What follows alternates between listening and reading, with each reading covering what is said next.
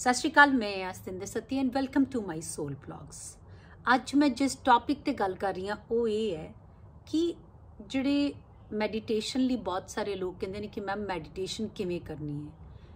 ਤਿੰਨ ਚੀਜ਼ਾਂ ਬੜੀਆਂ ਚੰਗੀ ਤਰ੍ਹਾਂ ਸਮਝ ਲਓ ਕਿ ਮੈਡੀਟੇਸ਼ਨ ਜਿਹੜੀ ਹੈ, ਉਸ ਦਾ, ਉਸ ਦੀ ਸਟੇਜ ਬਹੁਤ ਬਾਅਦ ਜਾਂਦੀ ਹੈ। ਫੋਰ ਐਗਜ਼ਾਮਪਲ ਅਗਰ ਤੁਸੀਂ ਕੋਈ ਕੰਮ ਕਰਨਾ ਹੈ, ਕੋਈ ਬਿਜ਼ਨਸ ਕਰਨਾ ਹੈ ਜਾਂ ਤੁਸੀਂ ਕੋਈ ਜ਼ਿੰਦਗੀ ਦੇ ਵਿੱਚ ਕੋਈ ਕਿੱਤਾ ਚੁਣਨਾ ਤੁਸੀਂ ਸਭ ਤੋਂ ਪਹਿਲਾਂ ਕੀ ਕਰਦੇ ਹੋ? ਤੁਸੀਂ ਉਸ ਦੀ ਤਿਆਰੀ ਕਰਦੇ ਹੋ। ਤੁਸੀਂ ਕੋਈ ਦੁਕਾਨ ਪਾਣੀ ਹੈ ਤਾਂ ਪਹਿਲਾਂ ਦੁਕਾਨ ਖਰੀਦਦੇ ਹੋ, ਉਸ ਦੀ, ਉਸ ਨੂੰ ਵੇਖਦੇ ਹੋ। ਫਿਰ ਦੁਕਾਨ ਦੇ ਲਈ ਕਿਸ ਦੁਕਾਨ ਤੋਂ ਸਮਾਨ ਆਣਾ ਹੈ, ਉਹ ਹੋਲਸੇਲ ਦੀਆਂ ਦੁਕਾਨਾਂ ਦੇ ਵਿੱਚ ਜਾ ਕੇ ਚੈਕਿੰਗ ਕਰਦੇ ਹੋ, ਰੇਕੀ ਕਰਦੇ ਹੋ, ਫਿਰ ਜਾ ਕੇ ਸਟਾਫ ਰੱਖਦੇ ਹੋ। ਯਾਨੀ ਕਿ ਤਿਆਰੀ ਕਰਦੇ ਹੋ ਤੇ ਇੱਕ ਦਿਨ ਤੁਹਾਡੀ ਦੁਕਾਨ ਖੁੱਲ ਜਾਂਦੀ ਹੈ। ਮੈਡੀਟੇਸ਼ਨ ਦੇ ਲਈ ਵੀ ਬਹੁਤ ਜ਼ਰੂਰੀ ਹੈ ਕਿ ਤੁਹਾਡਾ ਆਪਣੇ ਨਾਲ ਕਨੈਕਸ਼ਨ ਹੋਵੇ। ਤੁਹਾਨੂੰ ਆਪਣੇ ਸਾਹਾਂ ਦਾ ਪਤਾ ਹੋਵੇ ਕਿ ਤੁਹਾਨੂੰ, ਤੁਹਾਡੇ ਸਾਹ ਕਿਵੇਂ ਚੱਲ ਰਹੇ ਨੇ। ਤੁਹਾਡਾ ਖਾਣ ਪਾਣ ਕਿਸ ਤਰ੍ਹਾਂ ਦਾ ਹੈ? ਤੁਹਾਡਾ ਸੌਣਾ ਕਿਸ ਤਰ੍ਹਾਂ ਦਾ ਇਹ ਤਿੰਨੇ ਚੀਜ਼ਾਂ ਜਿਹੜੀਆਂ ਨੇ, ਜਦੋਂ ਸੰਤੁਲਿਤ ਹੋਣਗੀਆਂ, ਬੈਲੈਂਸ ਹੋਣਗੀਆਂ, ਤਾਂ ਹੀ ਤੁਸੀਂ ਇਕਾਗਰ ਹੋ ਸਕੋਗੇ ਕਨਸੈਂਟਰੇਸ਼ਨ ਕਰ ਸਕੋਗੇ। ਮੈਡੀਟੇਸ਼ਨ ਦਾ ਮਤਲਬ ਇਹ ਨਹੀਂ ਹੈ ਕਿ ਤੁਸੀਂ ਬੈਠ ਕੇ ਕਿਧਰੇ ਰੱਬ ਨੂੰ ਪਾ ਲੈਣਾ ਤੇ ਉਸ ਨਾਲ ਗੱਲਾਂ ਕਰਨੀਆਂ। ਮੈਡੀਟੇਸ਼ਨ ਦਾ ਮਤਲਬ ਇਹ ਹੈ ਕਿ ਤੁਸੀਂ ਆਪਣੇ ਆਪ ਨਾਲ ਸਮਾਂ ਬਤੀਤ ਕਰ ਰਹੇ ਹੋ ਔਰ ਹੌਲੀ-ਹੌਲੀ ਤੁਹਾਨੂੰ ਆਪਣੇ ਬਾਰੇ ਅਵੇਅਰਨੈਸ ਹੋ ਜਾਂਦੀ ਕਿ ਮੇਰੇ 'ਚ ਇਹ ਗਲਤੀਆਂ ਨੇ ਤੇ ਤੁਸੀਂ ਹੌਲੀ-ਹੌਲੀ ਉਹਨਾਂ ਨੂੰ ਇੰਪਰੂਵ ਕਰਦੇ ਹੋ ਤੇ ਜਦੋਂ ਬਾਹਰੀ ਦੁਨੀਆ ਦੇ ਵਿੱਚ ਆਉਂਦੇ ਹੋ ਤਾਂ ਤੁਹਾਡੇ ਸੁਭਾਅ ਦੇ ਵਿੱਚ ਹੌਲੀ-ਹੌਲੀ ਤਬਦੀਲੀ ਹੋ ਜਾਂਦੀ ਹੈ। ਉਸ ਨੂੰ implementation of meditation in the practical world ਕਿਹਾ ਜਾਂਦਾ ਹੈ।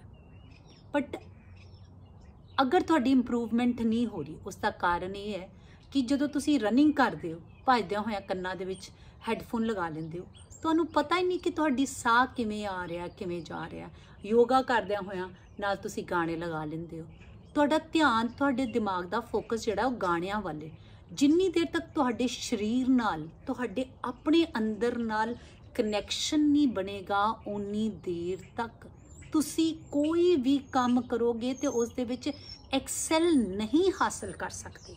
ਇਹ ਬੜਾ ਸਿੰਪਲ ਜਿਹਾ ਸਿਸਟਮ ਹੈ ਪਾਠ ਕਰਦਿਆਂ ਹੋਇਆ ਟੀਵੀ ਚੱਲਦਾ ਪਿਆ ਹੈ ਤੇ ਤੁਹਾਡਾ ਪਾਠ 'ਚ ਹੀ ਮਨ ਨਹੀਂ ਲੱਗੇਗਾ। ਸੋ ਕੋਸ਼ਿਸ਼ ਕਰੋ, ਤੁਸੀਂ ਇਨਸਾਨ ਹੋ, ਇਹ ਸਰੀਰ ਦੇ ਵਿੱਚ ਬੰਧਨ 'ਚ ਨਹੀਂ ਹੋ। ਸਰੀਰ ਤੋਂ ਬਿਨਾ ਵੀ ਤੁਹਾਡਾ ਪੋਟੈਂਸ਼ੀਅਲ ਯੂਨੀਵਰਸ ਦੇ ਨਾਲ ਕਨੈਕਟਡ ਹੈ।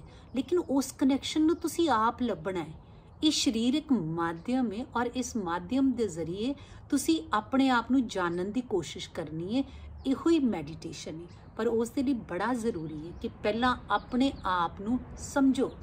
ਜਿਸ ਤਰ੍ਹਾਂ ਮੇਰੀ ਰਾਈਟ ਸਾਈਡ ਬੜੀ ਐਕਟਿਵ ਹੈ ਲੇਕਿਨ ਮੇਰੀ ਲੈਫਟ ਸਾਈਡ ਥੋੜੀ ਜਿਹੀ ਕਮਜ਼ੋਰ ਹੈ ਯਾਨੀ ਕਿ ਜਦੋਂ ਮੈਂ ਕੋਈ ਵੀ ਕੰਮ ਕਰਦੀ ਹਾਂ ਤੇ ਇਸ ਦੇ ਵਿੱਚ ਇਹਦੇ 'ਚ ਉਨੀ weight ਚੁੱਕਣ ਦੀ ਤਾਕਤ ਨਹੀਂ ਜੋ ਮੇਰੀ ਇਸ ਸਾਈਡ 'ਚ ਲੇਕਿਨ ਅਗਰ ਜਿੰਨੀ ਦੇਰ ਤੱਕ ਮੈਂ ਆਪਣੇ ਸਾਹਾਂ ਨੂੰ ਆਪਣੇ ਨਾਲ ਆਪਣੀ ਬਾਡੀ ਨੂੰ ਸੁਣਦੀ ਨਹੀਂ ਉਨੀ ਦੇਰ ਤੱਕ ਕਿ ਮੈਂ ਕਿਵੇਂ ਦੱਸ ਸਕਦੀ ਹਾਂ ਕਿ ਮੇਰੀ ਮੇਰੇ ਅੰਦਰ ਇਹ ਕਮੀ ਜਾਂ ਇਹ ਮੇਰੇ 'ਚ ਪੋਟੈਂਸ਼ੀਅਲ ਹੈ ਹੌਲੀ ਹੌਲੀ ਜਦੋਂ ਤੁਸੀਂ ਬੈਠੋਗੇ ਆਪਣੇ ਸਾਹ ਨੂੰ ਸੁਣੋਗੇ ਚੱਲਦਿਆਂ ਹੋਇਆਂ ਬੈਠਦਿਆਂ ਹੋਇਆਂ, ਤੁਰਦਿਆਂ ਹੋਇਆਂ, ਤੇ ਤੁਸੀਂ ਸੱਚ ਮੰਨਣਾ, ਕਿਸੇ ਨੇ ਤੁਹਾਨੂੰ ਕੁਝ ਵੀ ਨਹੀਂ ਸਿਖਾਣਾ ਪ੍ਰਕਿਰਤੀ ਨੇ ਤੁਹਾਡੇ ਉੱਤੇ ਆਪਣਾ ਮੈਜਿਕ ਆਪਣਾ ਭੰਡਾਰ ਆਪਣੇ ਆਪ ਖੋਲ ਦੇਣਾ ਤੁਸੀਂ ਆਪਣੇ ਖੁਦ ਟੀਚਰ ਬਣੋਗੇ। ਪਰ ਉਸ ਦੇ ਲਈ ਜ਼ਰੂਰੀ ਹੈ ਕਿ ਇੱਕ ਰਸਤਾ, ਇੱਕ ਟੈਕਨੀਕ ਤੁਹਾਡੀ ਬਿਲਕੁਲ ਠੀਕ ਹੋਣੀ ਚਾਹੀਦੀ ਹੈ। ਅਗਰ ਇਹ ਵੀਡੀਓ ਤੁਹਾਨੂੰ ਵੀ ਚੰਗੀ ਲੱਗੀ ਅੱਜ ਦਾ ਇਹ ਸਮਾਂ ਹੈ ਜਦੋਂ ਆਪਣੇ ਆਪ ਨੂੰ ਲੱਭਣ ਦੀ ਸਭ ਤੋਂ ਜ਼ਿਆਦਾ ਕੋਸ਼ਿਸ਼ ਕਰਨੀ ਚਾਹੀਦੀ ਹੈ, ਕਿਉਂਕਿ ਦੁਨੀਆ ਦੇ ਵਿੱਚ ਬਾਹਰ ਤੁਸੀਂ ਕਿਤੇ ਜਾ ਨਹੀਂ ਸਕਦੇ। ਇਹ ਰਾਈਟ ਟਾਈਮ ਹੈ। ਆਪਣੇ ਆਪ ਨੂੰ ਲੱਭੋ, ਆਪਣੇ ਆਪ ਨਾਲ ਕਨੈਕਟ ਹੋਵੋ। ਤੁਸੀਂ ਮੰਨੋਗੇ? ਤੁਹਾਨੂੰ ਇੰਨੀ ਸੰਪੂਰਨਤਾ ਮਿਲੇਗੀ ਕਿ ਤੁਹਾਨੂੰ ਦੁਨੀਆ ਦੀ ਕੋਈ ਚੀਜ਼ ਤੰਗ ਹੀ ਨਹੀਂ ਕਰੇਗੀ। Try it share it and please let me know